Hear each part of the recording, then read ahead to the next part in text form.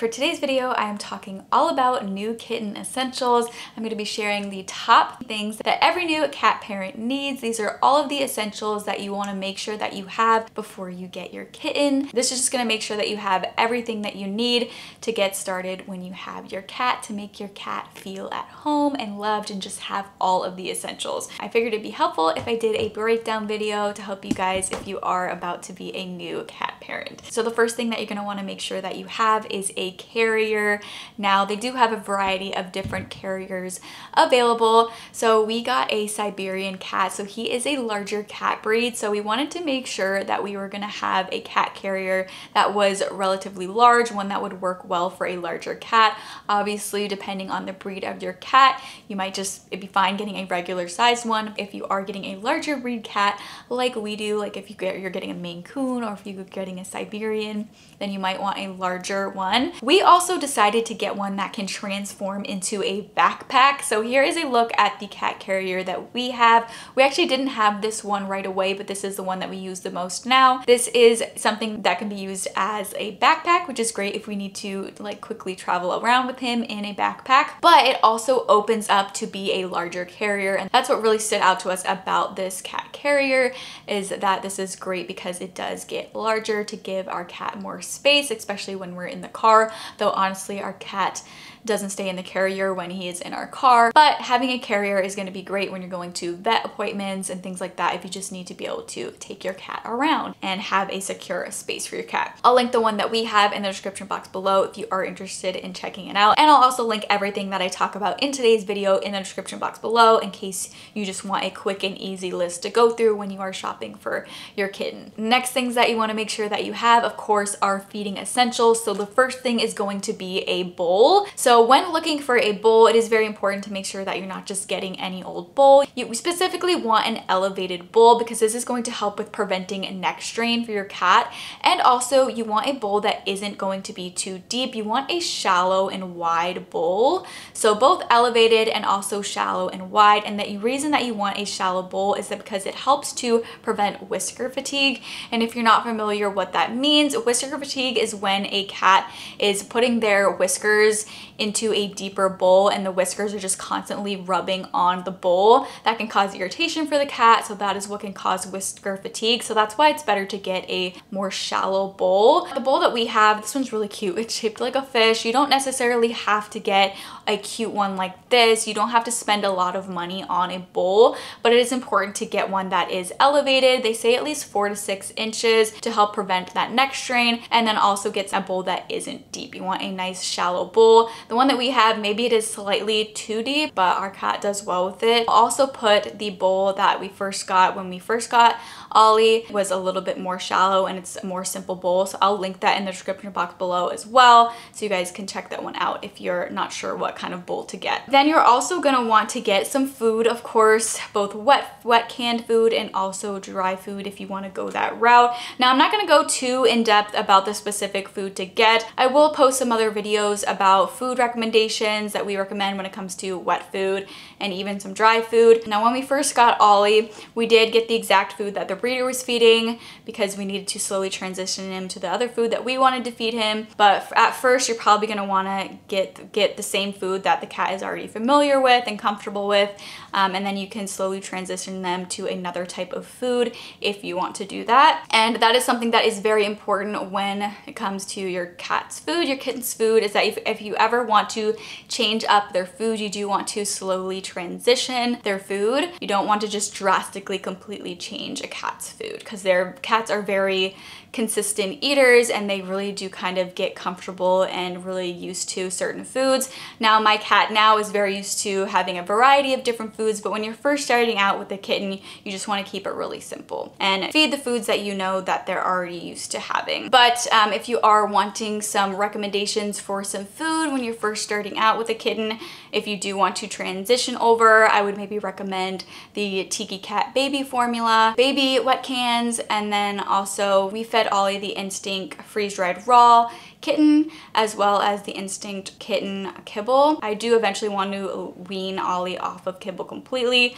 but again, I'll do another video going into that later, but you're gonna want food, of course. But when you are getting your cat food, you wanna make sure that it is either specifically made for kittens because kittens need do need extra nutrients and things. So you want to make sure that the food is made specifically for kittens or food that says that it's for all life stages. So that means it's okay for kittens as well, but you don't want to get something that is only for adults. And that will be all the way up until they are one year old. And that is what our breeder recommended. So that's what we did. So then you're also going to want, this is not necessarily an essential, but it is something that I think is going to be very helpful for a lot of people. And that is an automatic feeder. This really actually is an essential if you are not always going to be home and you want to make sure that you have a way to feed your cat when you are not home. Maybe not essential for some people when you're first starting out, but if you are not going to be home all the time to feed every single meal to your cat, then it, that is something that is going to be really, really helpful. Now, I will link the one that we do have and we love.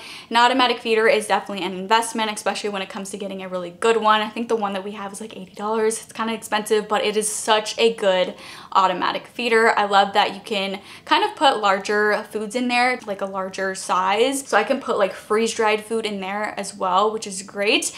Um, but you can also just put kibble in there. The one that we have is from Petlibro, and the specific one that we have is great because we can completely control it from an app on our phone, and we can change the schedule of the food, we can change the portion sizes, and we can do all of that even if we aren't home. So if we're on vacation and we need to give them an extra meal, then we can do that directly from our phone. So that's really great. That's why we love the version that we have. Not all of the Petlibro automatic feeders have that feature, but that's why we really like the one that we have. So I will link that one below if you are interested. Then the next thing that you will want to get, again, maybe not a necessity for everybody. However, I think it kind of is a necessity long-term when it comes to your cat and that is a cat water fountain. Now we have tried quite a few different cat water fountains until we found the one that we have been using for quite a while now that we absolutely love. It is from the brand Petlibro and it is their Dockstream. And what I love about this one is that it can be used both attached and plugged in or you can even unplug it and there is a bottom panel piece that actually retains charge and you can use it unplugged. You can use it wirelessly, which is great. We love using this when we let Ollie out on the deck and into his catio. We can put it outside there for him and not have it plugged in. So that is a really cool feature that we love about this one. So if you're interested in that one, I will have it listed in the description box below. And when it comes to cat water fountains, of course, you don't necessarily have to have one. However, cats do tend to kind of get more drawn to flowing flowing water rather than just stagnant water in a plain bowl. They do get most of their hydration and moisture from their food, but I do still think it is very important for them to have access to water all the time. And a cat water fountain is just a great way to do that and make sure the water is fresh and clean because they do have a filter as well. When Ollie was a kitten, he drank totally fine out of just a plain bowl of water. He has always been very good at drinking water and staying hydrated, but not all cats are like that. Some cats will be more drawn to flowing water with a cat water fountain. So that's something that you might want to think about getting. So then something that you'll also want to have on hand are some treats. So treats are going to be a great way for you to train your kitten. So that's great to have on hand immediately. Now when we, our breeder told us not to give Ollie treats until he was six months old, but then when we went to the vet, I think he was like like four months old at that point. He might have been even younger, but they actually said it was fine to give him treats. Listen to the advice of, of your vet of when is okay to start giving treats when, when you have a kitten. Just treats in moderation. They're great for a training aid and just a great way to help your cat warm up to you. I think wet sticks are probably great for kittens because, you know, they can't choke on it. And I feel like wet sticks are kind of like a little bonding treat as well. So wet sticks I think are great options for kittens. The ones that we like are from Tiki Cat. Nulo also has has some great wet sticks. So those are two brands that I would recommend for wet sticks for kitten if you are looking for some options for treats to get your kitten. So then the next thing is a litter box. Of course, you want a litter box and something that you're gonna want to make sure that you get when it comes to litter box. With a kitten, you are gonna want something that is shorter at first, so it is just really easy for the kitten to get in and out. You don't really wanna get something that is fully enclosed at first because the kitten's gonna need to just really warm up to it. So having just an open small litter box like the one here, that is going to be really, really great. That's what you're gonna need for a kitten. And then also something to note is you don't wanna use any automatic litter box with a kitten until they are at least six months old. That is what our breeder told us. Ollie does have a litter robot now and it's amazing. We love it. That is an investment, definitely not an essential per se.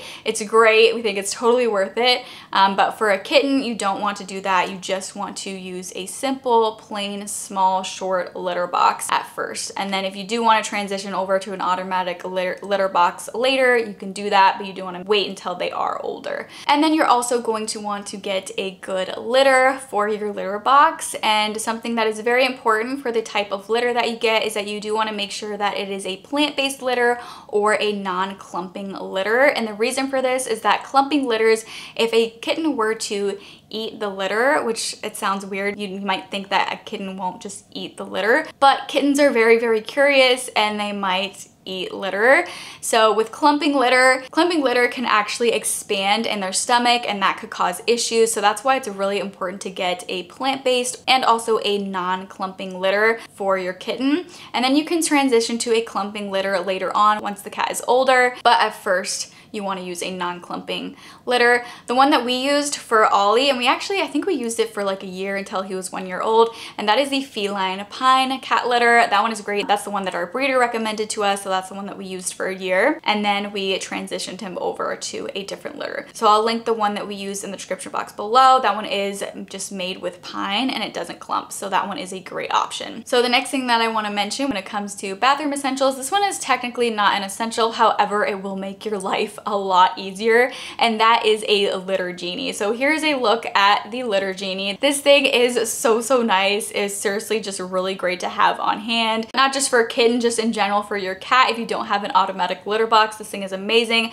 Essentially, it is a dedicated trash can for your cat's waste. So that's super helpful. That way you don't have to always scoop it into a trash bag and like take it out super often. This is something that you can store your kitten's waste in for like a week to even two weeks before you have to empty it and switch it out. So it's amazing. It's only like $20, maybe $25, um, but definitely worth it. It's not necessarily essential. You don't have to get that, but it's something that's just gonna make your life a lot easier when it comes to scooping your cat's litter and just keeping your cat's litter box clean. It's amazing. We love it. So then next on to grooming essentials. So you're gonna wanna get a toothbrush and toothpaste. So these are the ones that we have and these are the ones that we've been using ever since Ollie was a kitten. He's now over a year old, um, but we still use these. They're great. And what's great about this toothbrush is that it actually has two sides. So this is the larger size and then it also has a smaller size. So this is the side that we used when he was a kitten. And then as he got older, we started using the bigger side, but it's gonna be great to get your cat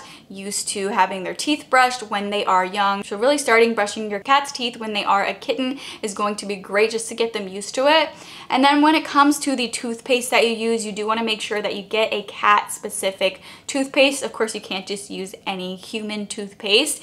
That would not be good. You want to make sure that you get a toothpaste that is specifically made for cats. This is the one that we use. This is from the brand Virbac and this is their enzymatic toothpaste. So this is the one that we use. I will link both the toothbrush and the toothpaste that we use in the description box below. The toothpaste does have like a chicken flavor, uh, or poultry flavor is what it says. This is good for both cats and dogs. So that flavor is also going to entice your cat. Ollie actually really likes getting his teeth brushed. I feel like he thinks this is a treat um, because he just really likes the taste of this and he always gets excited when I go to brush his teeth. So that is something that you're going to need when you have a kitten. That is a good essential that you wanna make sure that you have. You're also gonna wanna make sure that you have some brushes or a brush for your cat. If you're getting a short haired cat, you know, you might not need to brush them as often, but it's still, a, I think it's still important to have a brush so you can brush your cat. But short hair cats definitely need less work, I guess, when it comes to brushing them.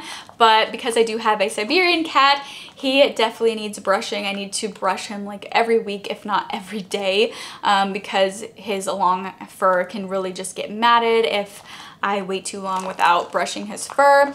But in general, with a long-haired cat, sometimes they're just gonna look disheveled. Even if they don't have any mats, the long hair, it just can look a little disheveled sometimes. I feel like that's just the reality of having a long haired cat. But anyway, getting a good brush set or grooming set is great when you're starting out with a kitten. This is the one that we got. We do have more brushes now, but this is a good starter set that I think is great if you're getting a kitten. It has a variety of different brushes, but it also has a nail clipper, which is great. So that's the other thing I was gonna mention is that you'll wanna get some nail clippers because that is something that you'll wanna do. Honestly though, when they are a kitten, you don't really, I feel like you don't really need to clip their nails as much.